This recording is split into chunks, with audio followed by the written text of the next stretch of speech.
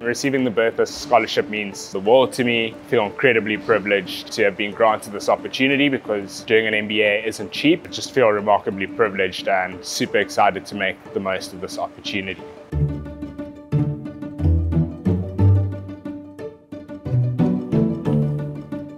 Me, the scholarship was definitely a game changer. It essentially is what enabled me to fulfill my dream of coming to UCT's Graduate School of Business to study the MBA. Receiving the scholarship has meant that I've been able to actually come here and take part because the financial burden without having received it would mean I just wouldn't be here. The course has been incredible over the past three weeks. This is just the last day of our first block. There's two routes. There's the full-time route and the modular route. For most people, the flexibility and time element make you question whether you should do it or not. Just go for it. I think it's a good idea that people apply because the opportunity of taking part in this program is sort of way greater than what you'll expect and the scholarship allows you to actually take part.